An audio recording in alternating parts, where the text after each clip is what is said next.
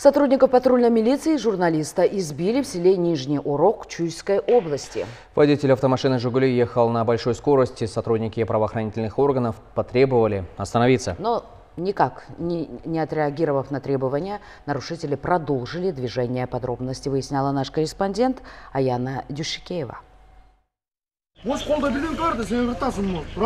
Ночь с 10 на 11 марта. Нарушителя на автомашине «Жигули», ехавшего на большой скорости по южной магистрали, сотрудникам патрульной милиции удалось догнать лишь в селе Нижний Урок Сокулукского района.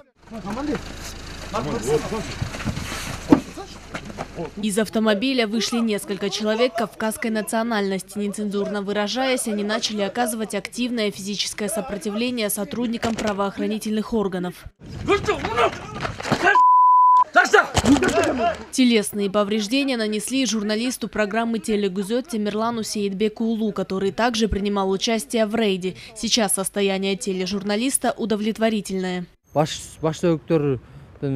Башыман сотрясение алып тұрмын ошо мээ чайкалып с утра был в больнице, сделали рентген. В результате удара по голове куском деревянной доски. Получил сотрясение мозга и несколько ушибов. Сейчас болит все тело. Потасовка между сотрудниками патрульной милиции и нарушителями прекратилась спустя 15 минут после того, как прибыло подкрепление правоохранительных органов. После предупредительного выстрела в воздух нарушители разбежались в разные стороны. Задержать удалось лишь двоих.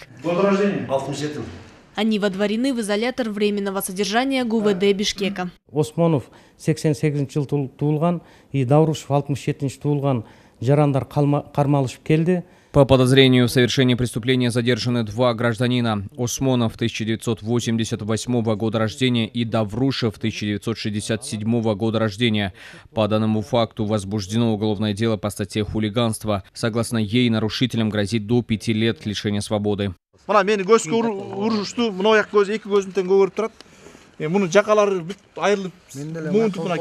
муунткан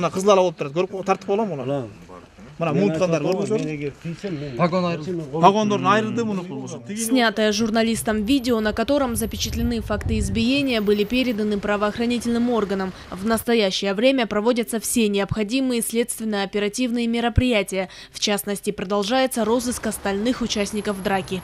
Аяна Дюшикеева, Сентура Быкеев, Общественный, Первый канал.